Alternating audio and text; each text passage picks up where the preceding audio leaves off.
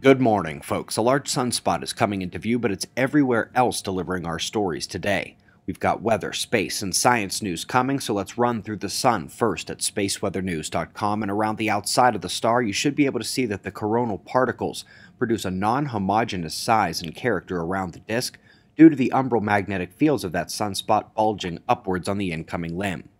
Those umbral magnetic fields are the largest and strongest we've seen in about a year, but thus far have not produced any solar flares, and the best guess as to why that is can be found at the sunspot itself. Massive? Yes, but all by himself, and you really need at least two spots so their fields can interact. Dopplergram shows the depth of the umbral core. Let's go to the solar wind. And over on the right side, the orange panel on top bumps up, and below that, the plasma speed and temperature, purple and green, begin rising just afterwards as well. It is almost certainly a coronal hole stream impact and has already begun to produce intermittent geomagnetic instabilities. Nothing major is expected.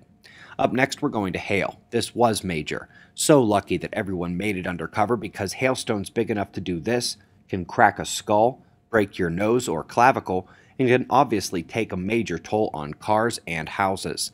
We're going next to Russia. Another fireball meteor came crashing through the atmosphere, this one not nearly as glorious as the 2013 fireball, but still an incredible sight. Up next, in just two days, the world of astronomy is going to change. Call it a black hole, plasmoid, active galactic nucleus, whatever it is, we're going to get a picture of one on Wednesday. We are expecting to see the outline of the sphere and its dusty plasma torus.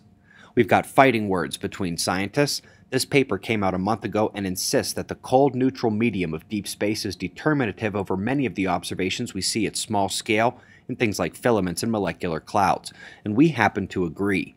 But now the scientists whom that paper shaded are coming back to defend their work. Both papers in the new science fight link below. You might recall that modified Newtonian dynamics, MOND, had a pretty rough 2018 thanks to Planck, ESA, and Hubble in a triple star system. This one, not much better. That theory is fading fast. So many of you have probably heard about the rough news for Duke. They indeed falsified data and provided unsubstantiated conclusions in order to get grant money. In addition to a small sense of justice you might be feeling and might be wanting spread around a good deal more, I am wondering if the climate science researchers are paying attention to this. More on that in just a moment, because I want to share an incredible piece on flux tubes.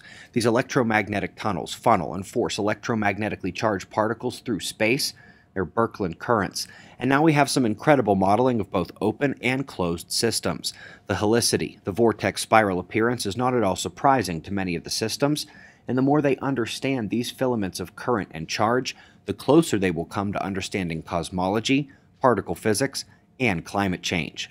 Folks, the observers advocate for stronger restrictions on pollution, higher fines and penalties for violators, and retroactive cleanup provisions for those who think they dumped and got away.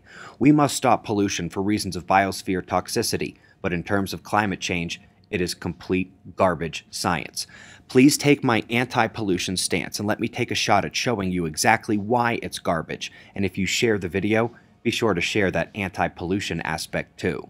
Video is linked right below this one for you. Folks, we greatly appreciate your support. We've got wind maps and shots of our star to close, and we'll do this all again tomorrow, right here. But right now it's 4.30 a.m. in the new Valley of the Sun. Eyes open, no fear. Be safe, everyone.